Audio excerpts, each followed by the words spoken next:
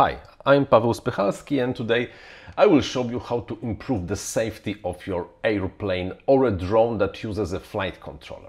If we want to use flight controller, usually we have to assign one of the radio channels as the arming channel that will give the information to the flight controller that it can arm, it can start spinning motors when a switch is switched on or off. I personally like to use switch B because it's close to the throttle. If something happening, just flip your finger like that. It's this arm.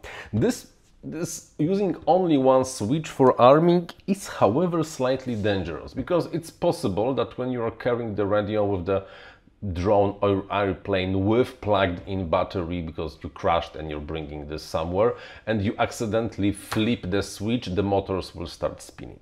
Yes INAV for example will not arm if the throttle is low but still when you are carrying this thing it is possible to bring it low switch it accidentally and then hit it with your leg or piece of clothing or equipment or anything and you have a problem. This is why this is why there is something there's there is a very sim very simple relatively simple at least with opentx and uh, super safe way to prevent accidental arms which can be done with the double switch arming. The idea is simple. You have to do two things to be able to arm. In our case i will show you how to do this how to do it when the, the SB switch is low and SH, yes, this is HA switch, is more, at least for a minute flipped, only then the flight controller will arm. This arm will be happening exactly the same way if we switch it up, then the flight controller disarms.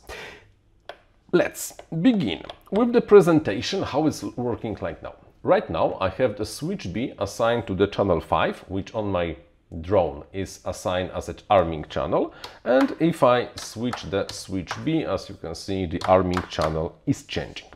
This is not the behavior we want. We want this channel to change only if the switch B is in the low position and the switch H is at least flipped for a fraction of a minute. How to do it? Let's go to the model and let's go to the section called the logical switches. Logical switches are, well, they are logical switches that are happening when some conditions are met or not. We want arm only, only when two switches are touched by us. This is why the logical switch number one we are interested in is AND, because two conditions have to be met together for us to arm. And the argument number one will be switch B in the low position and argument number two will be switch H in the high position. Right now you will be able to see that the condition activated because right now I have switch B down and when I flip the SH the logical switch gets bold that means it's active. Of course this is not enough. If you would like to fly right now we would have a, let's say serious problem because to keep the arming channel high you would have to move the switch down and keep this with your finger like that. That doesn't make any sense. We want to improve that by adding something called sticky. Sticky is one of the operators uh, over here that also takes two arguments and the argument number one is the activation of the sticky and argument number two is the deactivation of the sticky. So when the activation will be valid for at least a minute, at least a second, one, one cycle actually, then the sticky will be evaluated as true for as long as we do not meet the second condition. In our case, the first argument for the sticky will be logical condition 0, 1. So let's scroll to the logical condition 0, 1. And the deactivation for the sticky will be us moving the switch SB to the top position. This is the disarm position in our case.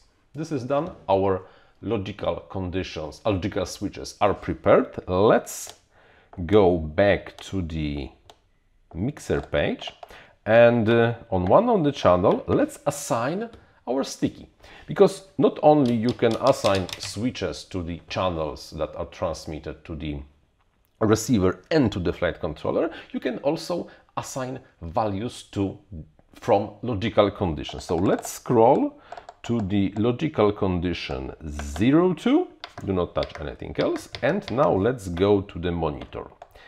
Now, imagine the channel 6 is our arming channel and the channel 5 is the previous generation simple pass-through from switch B.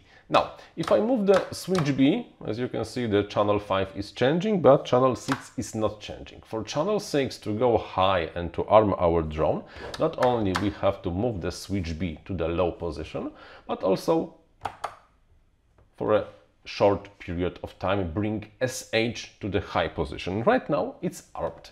How to disarm? Just flip a switch. There will be, yes, maybe slight delay, like a few milliseconds, but comparing to the danger of cutting your fingers, kinda doesn't doesn't really evaluate as the same as the same value. With this, with double switch arming, for example, with this or combination of two switches or combination of switch and the trim movement, this is ev everything is possible. I have a separate video about what you can do with the trims, so you can you might want to take a look at that. You really can protect yourself from losing some blood. That's all for today. Until the next one. Bye bye.